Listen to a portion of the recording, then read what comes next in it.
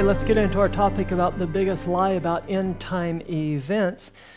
The time of persecutions under Stalin, which started in 1924, were a time where entire Adventist congregations were wiped out. About 70% of all Adventist preachers and church leaders were killed. Nearly 3,500 church members, about one fourth of the Soviet Adventist membership at that time, lost their lives due to persecution, hunger, and detention in labor camps. The Russian preacher Alexander Gritz represents one of these cases. Gritz testified of his faith openly in his East Siberian captivity in 1944 until he was tied to a tree in the extreme cold and water was poured over him until he froze to death. The Russian German leaders Jacob Reiner and Jacob Cross were shot in labor camps in the late 1930s for refusing to work on the Sabbath and for conducting baptisms in secret. So, why were Adventists hit so hard at this time? Well, one important reason already mentioned is because um, of the Sabbath keeping. Those who, like Daniel of old, were willing to die rather than break one of God's commandments were especially targeted. Those were Sabbath keepers in the past. However, just recently, David J. Stewart of Capital City Baptist Church called Adventist Sabbath keeping blasphemous. He went on to say that keeping the Sabbath as evidence of salvation is a lie of the devil, and that Sabbath keepers are false prophets, and that Seventh day Adventism is a satanic religion rooted in the New World Order and it will take you to the lake of fire. He also stated that Sabbath keepers are, idolaters, worshiping the creature more than the creator. And he calls us heretics. And finally, he says that the doctrine of Sabbath keeping as evidence of salvation is of the devil. So these are some pretty strong words, wouldn't you say? This is actually a fulfillment of Bible prophecy that not only Adventists understand, uh, I, I, should say that only Adventists understand, and I don't say this because I think Adventists are more righteous than others. We're not, but because we have insights into prophecy that no other church has. And you say, well, that's a pretty bold claim, Pastor Daniel. Can you back that up? Well, I think I can. In my talk entitled The Biggest Lie About End Time Events, our opening scripture is Daniel chapter 6. If you'd like to follow along, open your Bibles there. Let's have a word of prayer. Father in heaven, we're thankful for your goodness towards us. Father, we crave for the Holy Spirit to be present during this presentation and to use me in a very special way. And we pray this in Jesus' name. Amen. In this message on last day events, we're going to see that when evil men were motivated by jealousy, that they used the law of God, especially the Ten Commandments, as an excuse to persecute Daniel and later on Christ. And again, He's going to use it in the future to persecute the remnant people of God. Now, this is especially applicable in our day. Many people who are not Adventists don't understand that Adventists are one of the only people groups in Christianity who believe in keeping all Ten Commandments of God. Daniel 6, let's start with verse 3. Daniel 6 and verse 3, it says, Then this Daniel was preferred above the presidents and princes because an excellent spirit was in him and the king thought to set him over the whole realm. Then the presidents and princes sought to find occasion against Daniel concerning the kingdom, but they could find none occasion nor fault, for as much that he was faithful, neither was there any error or fault found in him. Then said these men, shall, We shall not find any occasion against this Daniel, except we find it against him concerning the law of his God. So, what does verse 4 mean when it says to bring charges or find occasion against Daniel? Well, they were looking for an excuse to accuse him or get rid of him, weren't they? And when these leaders sought to find fault with Daniel, what does verse 4 say of Daniel? It says they couldn't find any fault with him. And so it sounds to me like Daniel, he had the character of Christ perfectly reproduced in Daniel. And so we should strive to be like Daniel, shouldn't we? Well, strive to be like Jesus, but Daniel's a great example as well, isn't he? Now it gets really interesting. When they couldn't find fault with Daniel, what did they resort to according to verse 5? Now, folks, verse 5 is a very important verse here. It says in verse 5, except we find it against him concerning what? The law of his God. That's interesting because the book of Revelation, let's go to Revelation chapter 12. The book of Revelation says the same thing's going to be repeated just before Jesus comes that ushers in the mark of the beast. Notice why the devil is angry at the woman or God's church. There are two things that the woman does that enrages the devil. And we must understand, folks, that the devil inspires nominal Christians in our day to persecute God's people who keep the commandments of God. Look at verse 17, Daniel 12. Uh, I mean, Revelation 12. And the dragon or the devil was angry with the woman, went to make war with the remnant of her seed, which, number one, keep the commandments of God. Number two, have the testimony of Jesus Christ. So in Daniel 6, angry evil men used the law of God against Daniel because they knew he kept it. In Revelation 12, we see that repeated to God's people in the last days of Earth's history. So, folks, it's only those who keep all the Ten Commandments of God that will receive the full wrath of Satan. They are going to be persecuted. Now, I could talk about the testimony of Jesus Christ, also known as the spirit of prophecy, that enrages the devil too, but I don't have time. But know that the spirit of prophecy is also an identifying mark of the remnant church. It will invoke the wrath of Satan. Now, there's a prophetic interpretation principle that's used in this story that goes like this what was local and literal becomes universal and spiritual in prophecy. All right, so locally and literally, this was Daniel being persecuted for keeping the Ten Commandments of God. And we see that. And in Revelation 12, the law of God's actually going to be central in the battle between good and evil in the last days of Earth's history. Let's add to Revelation 12, 17, Revelation 14, 12, and 22, 14. It says, Here's the patience of the saints. Here are they that keep the commandments of God and the faith of Jesus. Now, folks, I have a question for you. Does God give us a 10% discount in commandment keeping? Well, if you ask most of the Christian world today, they say yes. You don't have to keep the Bible Sabbath. And so they do not qualify any Christian who believes the law was nailed to the cross, we're not under the law, we're under grace, or whatever the excuse may be. If you don't keep all of the commandments of God, you don't qualify as a follower, a complete follower of Christ. And look at Revelation 22 14. Blessed are they that do his commandments, that they might have a right to the tree of life and may enter in through the gates of the city. So, what's interesting about sinful human nature is that it wants to do the exact opposite of what God wants us to do. So, that's one reason that there's so much angst about the law of God in today's Christian world. It's really only aimed at the fourth commandment, the Sabbath commandment, right? And because they don't keep the Sabbath, they have to attack those who do, or at least discredit them. So we should commit to God not only to believe in the commandments of God, but to obey them. What do you say? Now, I'm going to be honest with you. When I first became an Adventist and I read the Adventist interpretation about the Sabbath issue in the last days of Earth's history, I thought the Adventists got it wrong. But it wasn't the Adventists who got it wrong, it was me. I'm going to explain what I mean in just a moment.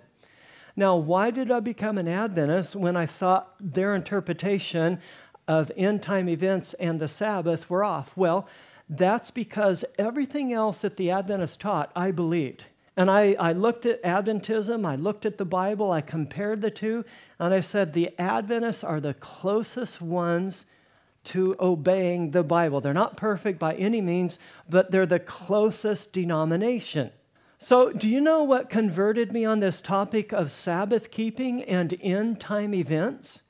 It's when I became a pastor and especially an evangelist. And I started seeing the hatred and controversy surrounding the Sabbath. You can talk about any other commandment from the Ten Commandments, and most of the Christian world will say, Hooray, that's wonderful. But as soon as you talk about the Sabbath, you be, you'll be accused of a legalist, and sometimes people get very angry at you. People who are wonderful Christians in all other areas of the Bible crumple when the Sabbath is clearly presented to them. And if there's a clear teaching in the Bible, it is of Sabbath keeping. What do you say? Let me give you a couple of examples. I was doing an evangelistic series in America and Indiana a few years ago. And I had this woman come. She, had, she was an amputee. She had, her, I think, her right hand had been cut off. And um, so she just had a stump here. And she was coming to my meeting. She was a Sunday keeping, beautiful Christian woman. And every time I'd call out the, the scriptures, she would take the stump of her hand and she would turn the pages of the Bible to look up the verses that I was calling out. After the meeting, she'd come up to me and say, Pastor Daniel, that was a fantastic sermon. I'm learning so much from you.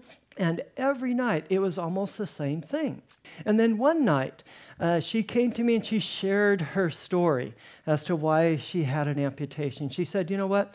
I was born and raised in a beautiful Christian family. My parents loved Jesus, and they were really good examples. They weren't legalists, they, they, they loved me, they loved Jesus.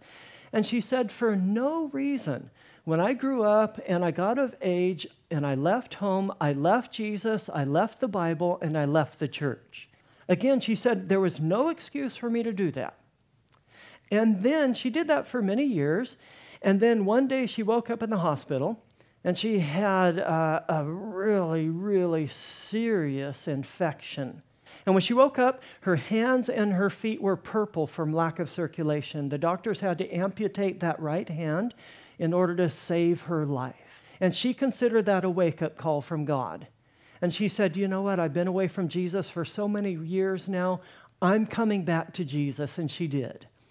And she held up that stump to me and she said, Pastor Daniel, I praise God for this amputation. Do you know why? Because it drove me back to Jesus. I thought, man, this woman has strong faith in Jesus. I really admired her. She even quoted that one from Jesus where he said, If your hand offends you, cut it off, for it's better to go to heaven maimed than to go to hell with both of your hands.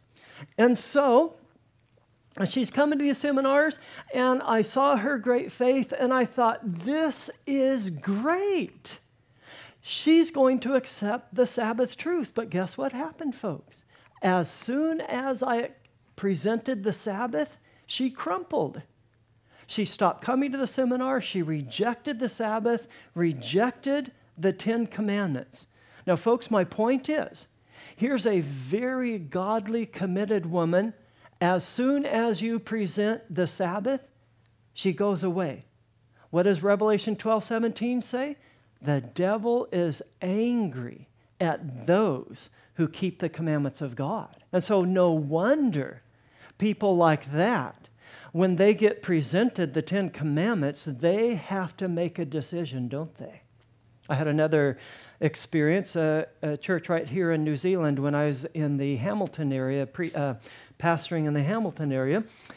Um, I was in church one day, Sabbath morning, and a young man came in all excited, real happy and joyful. He had found Doug Batchelor on YouTube, and he had found the Sabbath through Doug Batchelor. And this was the first Sabbath that he was keeping that day. And he was so thrilled about finding the Sabbath. I even got him up front to give his testimony. And all the church members were just so happy about that. However, what happened is that his wife, a Sunday keeping church member, she gave him so much opposition. She gave him such a hard time about that. He stopped coming to church. And uh, as far as I know, he stopped keeping the Sabbath. See, the Sabbath is the only commandment that makes the rest of the Christian world angry or at least very uncomfortable, right? Again, I could talk about any of the other nine commandments and they would say, preach it. But as soon as you come to the Sabbath, all of a sudden they stop. So they persecuted Daniel because of jealousy and used his loyalty to the Ten Commandment law as leverage to condemn him. How about in the life of Jesus? Did they also persecute Jesus because of jealousy and use his loyalty to the law of God against him as well? Absolutely. We'll see that in a minute. But for now, before we go there, I feel it's important for us to know from Luke chapter 12 that no matter what you do, you will not be able to avoid hardships and suffering. If you serve man, you're going to suffer for it. If you serve God, you will also suffer for it. Let me show you what I mean. Luke chapter 12, and let's look at verse 12, uh, 4. And Jesus said, I say unto you, my friends, be not afraid of them that kill the body, and afterward they have no more that they can do. So you can be persecuted for your faith in Jesus, or if you want to avoid that persecution, then you're going to have to face God. Look at the next verse, verse 5, Luke chapter 12, verse 5. But I will forewarn you of whom you shall fear. Fear him which after he has killed has power to cast you into hell. Yea, I say unto you, fear him. So, folks, no matter who you serve, you will be persecuted. If you serve man, then you're going to be in hot water with God.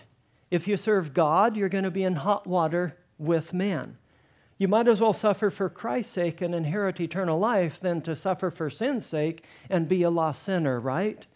I really want to encourage you, really want to encourage you to make that decision to be a commandment keeper. Besides that, if you serve God, He assures you of peace, comfort, and purpose in this life, even though you'll experience persecution. The only way we can experience this peace and comfort is to realize that we become righteous through Jesus' righteousness, not our own. He credits our righteous acts, uh, our unrighteous acts, uh, with His righteousness, and so we are now counted righteous by faith in Jesus Christ. Now, first of all, why did the Jews persecute Jesus in John chapter 9? What does uh, John 9 and verse 14 and 16 say? Well, it says, It was a Sabbath day when Jesus made the clay and opened the blind man's eyes. Hmm, interesting. So they persecuted Jesus for what they called Sabbath breaking. And then verse 16 says, Therefore said some of the Pharisees, This man is not of God because he doesn't keep the Sabbath day. Why? Well, because he healed this man. He, he, did the, the hard work, uh, spitting on the ground and making clay of the spittle and anointing his eyes and open. opening. The Pharisees persecuted him for what they called Sabbath breaking. So, was Jesus really breaking the Sabbath by doing that? Absolutely not. But this gave them a convenient excuse to act out their jealous hatred on Jesus, didn't it? Daniel was also persecuted. They tried to kill him using the law of God as a weapon, and for the same reason, right? And as already mentioned, God's last day people are going to be known for, for and persecuted for the same reason, according to the prophetic book of Revelation. Now let's zero on, on the Sabbath and last day events. Since the Sabbath is one of the Ten Commandments that the rest of the Christian world ignores for the most part, Adventists have believed for over 100 years that the Sabbath is a special test for God's people at the end of time. For instance, now, what I'm going to do right now, folks, this is especially for the non Adventists out there, I'm going to give you a little understanding of what we believe about end time events.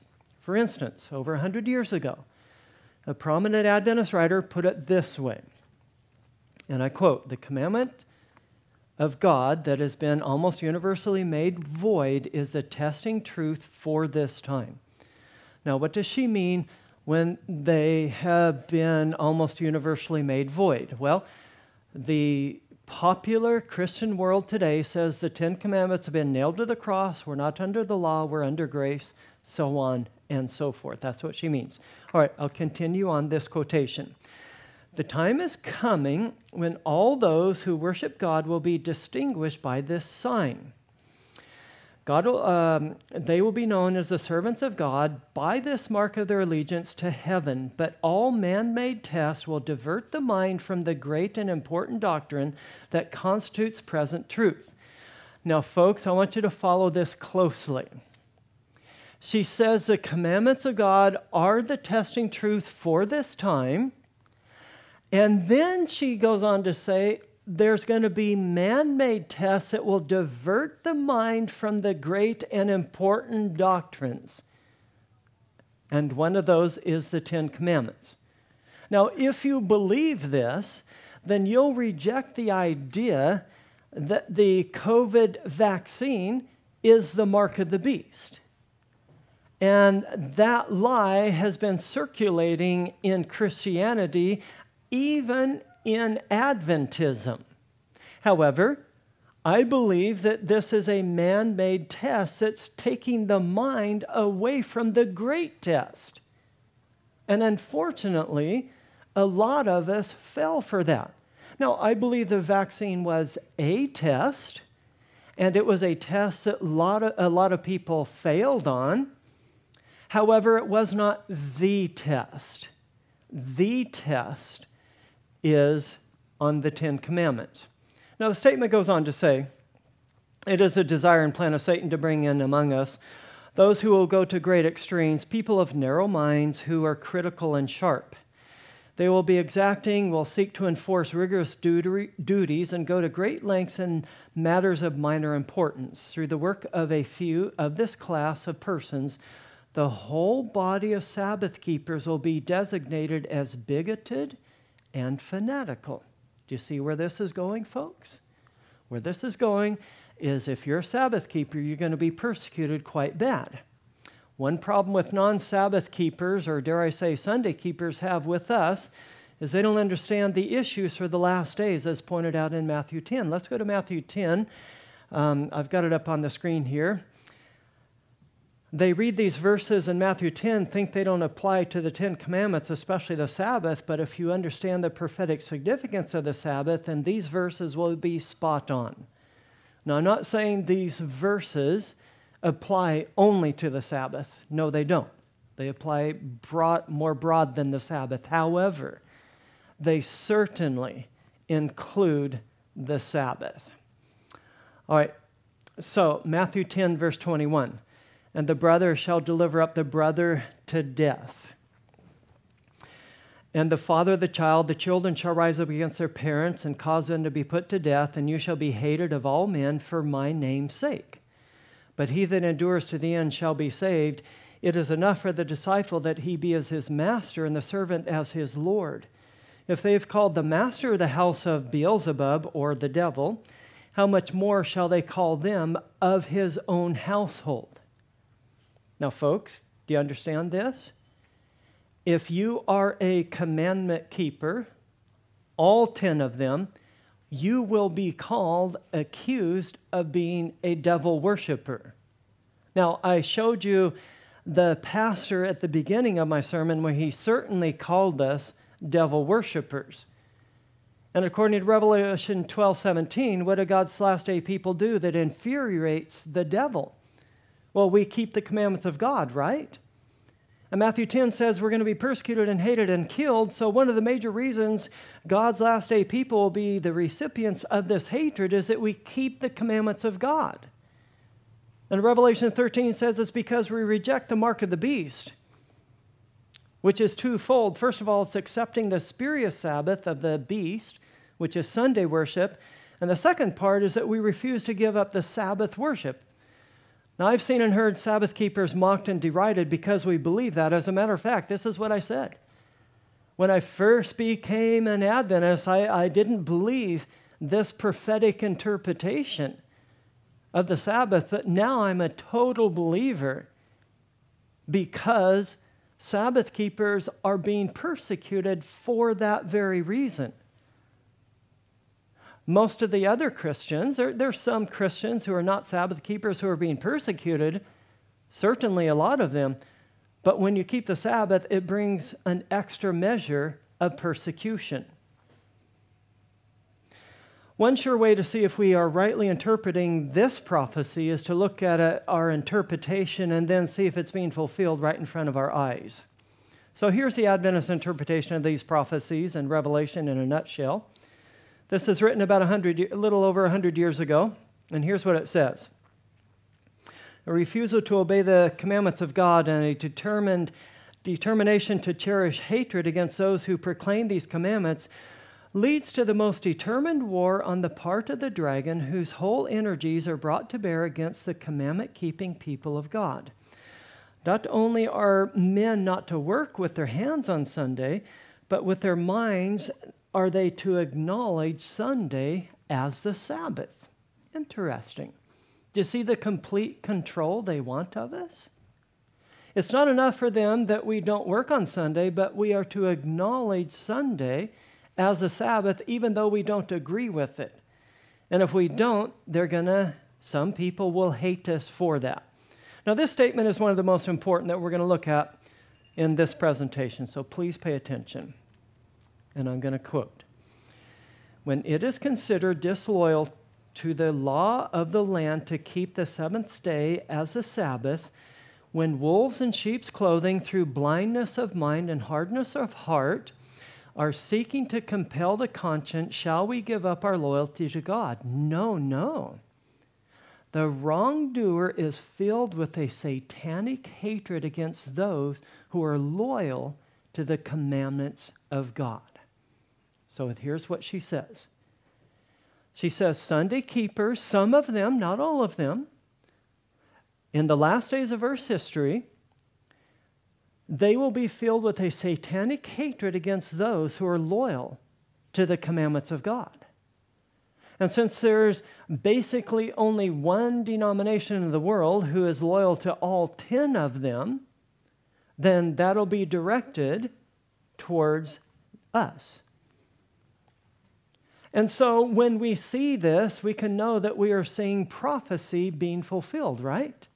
Well, let me show you a video of these very prophecies being fulfilled right before your eyes. And these prophecies are um, unique to Adventist Church. I don't know any other church that says this. Um, the wrongdoer is filled with satanic hatred. Not even other Sabbath keeping churches. I must warn you that I showed this short video in my church a few months ago, and uh, the members were very upset about it. This is really hard to watch, but it's necessary in light of what's happening in the world right now, please forgive me for showing it, but I feel it's my duty and it's your benefit to see this. Here it is. And let me just go one step further for all these seven day Adventists that watch me for some reason and send me letters. You worshiping the devil because you meet on Sunday. Jesus fulfilled the law. Jesus became my Sabbath. And I'm here to tell you, I worship on the first day of the week because of the glory of the resurrection. I am not under the law of the Sabbath. Jesus said there will come a day. It doesn't matter when and it doesn't matter where, but it matters who you will worship. I'm telling you, Saturday worship as far as the law is concerned, is a demonic doctrine. Shut up and don't come at me with all that nonsense. You got to worship on Saturday because of the law. I'm not under the law, Skippy O. I'm under the grace of the resurrected. All right. So, did you see and hear the satanic hatred in this video clip? Uh, so, who is this so called pastor inciting people to hate Sabbath keepers? Well, he's not only got his local congregation, which appears to be a mega church. I think he's got over a thousand in his church. I couldn't really confirm that. But he's not only got them, he's got a big YouTube following as well. And I read the comments on his sermons, and most of them were really excited about his sermon. He's got 26,000 views on one of his sermons. It looks like a typical charismatic church there. And so, this satanic hatred against Sabbath keepers being shouted around the world, isn't it? And so, this is literally a fulfillment of a prophecy that Adventists have had for many years. And so now we can see that, yes, the dragon was wroth with the woman, Revelation 12, 17, and went to make war with the remnant of her seed, which keep the commandments of God. Remember the Baptist I quoted at the beginning of my sermon? Remember what he said? You may wonder why these pastors are so angry against Sabbath keepers. There's a risk, and I'm going to sound arrogant when I answer that question, but I believe that some are livid because there's no biblical arguments against the Sabbath. Now, folks, I've been doing this for many years, and I've heard a lot of arguments from other Christians and pastors against the Sabbath. none of them hold water as far as the Bible is concerned. So there's no biblical arguments against the Sabbath, and many people are being converted to Sabbath keeping. So, so they get annoyed at us Sabbath keepers, and some even get furious about it. It is plain and simple disobedience, pretending to be righteous indignation. They know they're disobedient, but they want to make it appear that they're righteously indignant towards Sabbath keepers. Another thing I should say is that there are some, plenty of Sabbath keeping churches that are not Adventists, like the Seventh day Baptists. And there used to be the Church of God Seventh day. And do you know why I say there used to be? Because the Church of God Seventh day gave up the Sabbath. Hmm. That's interesting. Why did they do that? Well, the most important reason is that they didn't see the prophetic relevance of the Sabbath. And, and there's only one Sabbath keeping church that understands the prophetic relevance of the Sabbath, and that's Adventism. Test it, folks. Try it. Go to any other seventh day Sabbath church that's not Adventist, and you will not see the prophetic intensity in that church. Guaranteed. For we have a more sure word of prophecy in the spirit of prophecy, don't we? So, what are the solutions to the Sabbath persecution that will spread worldwide? I've already mentioned two. Number one, lean on Christ's righteousness, not your own. When hell breaks loose, if we don't know that Jesus is our righteousness, we're not going to be able to stand. You have to have Jesus. Number two, learn the prophetic relevance of Sabbath keeping. This will fortify you against that day. The third one is to fellowship with other believers on the Sabbath. And by the way, watching great sermons on television or First Light or YouTube, that is not fulfilling this need. Now, some people have to stay home, and God understands that. But I'm afraid that the COVID lockdowns have made some of us lazy about church attendance and fellowship. I want to encourage you to not stay in this condition. And the fourth solution, the last solution I have for my time today, is be prepared by learning medical missionary work. One of the pioneers of our church put it this way as religious aggression subverts the liberties of our nation, those who would stand for freedom of conscience will be placed in unfavorable positions. For their own sake, they should, while they have opportunity, become intelligent in regard to disease, its causes, prevention, and cure. All those who do this will find a field of labor anywhere. There will be suffering ones, plenty of them, who will need your help. End of quotation. So, when the Sunday laws come in, medical missionary work is unemployment insurance, isn't it? And so, learn the medical missionary work. So, we need to be moving forward folks. None of this cowering down before the devil, for we have an almighty Jesus Christ on our side. We need to go onward and upward doing aggressive evangelism, for time is short. What do you say?